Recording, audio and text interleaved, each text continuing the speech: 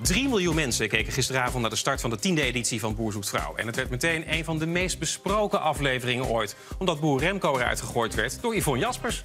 Ook dit seizoen zijn er weer heel wat mannen en vrouwen in de pen geklommen om hun liefdesgelofte op papier te zetten. Het zijn er 74, met deze erbij 75 dames. Steffi, 49 mannen hebben naar jou geschreven. Oh. 43, 44, 47. Ben ik, ben ik door? Oké. Ja, ja. De meest gewilde boer en boerin zijn akkerbouwer Wim en champignonnenkweekster Michelle. Wim Post. Wat is dit, joh? Kratjes vol met mannen. 333 vrouwen.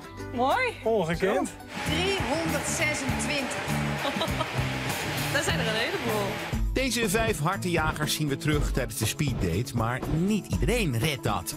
47 vrouwen. Kijk. Had het verschil. Eén brief. Of je ging speeddaten of niet. Oké. Wat voor dikke. Ik weet dat jij houdt van een feest. In een tentje, met een beentje. Na afloop van het tentfeest komt Boer zoekt vrouw ter oren dat Remco niet helemaal eerlijk is geweest. Hij blijkt vals te spelen en dat blijft niet zonder consequenties. De KRO-NCRV zegt, doordat Remco al met meerdere dames contact bleek te hebben die dat niet van elkaar wisten en hen ook heeft gevraagd te schrijven, heeft hij in onze optiek niet ver gehandeld. Veel van de briefschrijvers hadden hierdoor geen eerlijke kans. Remco dan wel op tv of online blijven volgen, past dus niet bij Boer zoekt vrouw. Ja, Bridget, snap je deze beslissing?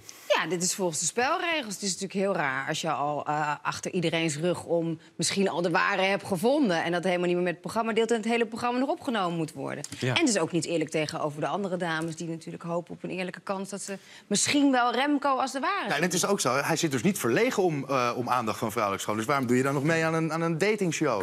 Toch? Ja, maar ik denk dat het, dat er is wel een verschil natuurlijk dat, je, dat, dat de vrouwen wel met je praten of dat je een keer een, een date kan hebben dan dat je een metgezel of Dat iemand in is huis. eh, Wat, wat mij wel verbaast is, ze hadden ook die hele boer Remco natuurlijk uit kunnen knippen. Het is wel enorm uitgevent Ja. vandaag. Is, is die een beetje eh, voor Jan Lul gezet eigenlijk? Ja, dat verbaasde mij eigenlijk ook. En ook zo aan het einde werd het een beetje weggemoffeld. Terwijl het toch wel iets, iets groots was. Want Ja. anders had je het inderdaad eruit eh, kunnen knippen. Die keuze begrijp ik zelf ook niet helemaal. Aan de andere kant willen ze misschien openheid van zaken geven. Fairness. Eh, Zo gaat het bij eh, Boer Vrouw. Dus Ja, dat delen we ook met de kijker. En hou er rekening mee. Inderdaad, nou niet voor jou Tom, want jij hebt... Ja, Ja, nee, ik heb... Ja, gemaakt. Ja, Tom, is, heb jij dit ook meegemaakt, wat Remco heeft meegemaakt? Dat je benaderd werd door vrouwen?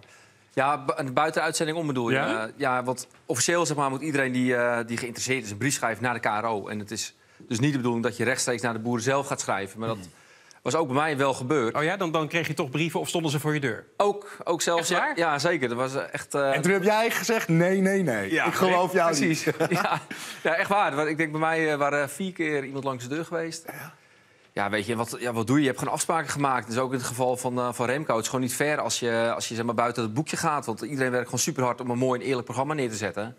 En ook om dit onderdeel dan, eh, van Remco dan wel erin te laten. Denk ik wel, omdat ze gewoon openheid willen geven van... joh, eh, zo werkt het gewoon niet. En- en die opnames- aandacht. Ik kreeg 1809 brieven uiteindelijk. Dus het Ja. was echt mega. En het was natuurlijk, die opnames waren betaald, er zat geld in natuurlijk. Het is zonde om dat dan weg te gooien. Ja, het is ook ook een beetje de een gedachte van de makers misschien. Eh, Ron, uh, mediakenner, vorig jaar 4 miljoen kijkers hè, voor de eerste aflevering. Nu 3 Ja. miljoen, dat is fantastisch nog steeds. Allemaal dromen we ervan. Ja. Het is wel een teken aan de wand. Nou ja, je ziet dat eh, inderdaad het, het, het terugkijken, wat er ook voor zorgt dat, dat het wat afvlakt... eh, dat dat nu ook tot de wat meer traditionele kijker van Boer Zoekt Vrouw is doorgedrongen. Dus dat heeft ermee te maken. Het was lekker weer, ook gisteren natuurlijk. Ja. Ik denk dat het nog wel aantrekt. Maar nog steeds wat jij zegt, fantastisch. Fantastisch inderdaad, ja. Het houdt eh, de gemoederen flink bezig, het programma. Maar ook Yvonne Jasper, Ja. die blijkt bij, verdienen, bij te verdienen. Nou, die, die doet inderdaad eh, eh, voor de farmers, voor farmers een campagne. En dat is eigenlijk om te laten zien hoe goed het bij de farmers, de boeren, eraan toe gaat. Dat is een bijverdienst inderdaad. Dat is een commerciële klus, noem je dat ook wel. Een beetje bijsnabbelen. Alleen in haar eigen programma, Onze Boerderij, laat ze natuurlijk ook heel duidelijk zien hoe het er bij de boeren aan toe gaat. Dan laat ze eigenlijk niet de kant vanuit de overheid eh, belichten of eh, laat ze is een zien. beetje dubbel, ja. Dus eigenlijk is nu, ja, ik vind het een beetje vergezocht als ik heel eerlijk ben, maar de NVJ, de Journalistenvakbond, vindt dat de KRO en NCV eh, de geloofwaardigheid van de publieke omroep hiermee op het spel zet. Ik denk, ja, als zij daarnaast wil snabbelen, Ja, oké. volgens mij moet je het een beetje los van elkaar zien. Ja, ik dacht toch even een Ron. Ron misschien. Nou, ik vind het niet heel handig. Kijk, het is niet verboden. De KRO-NCV heeft ook toestemming gegeven.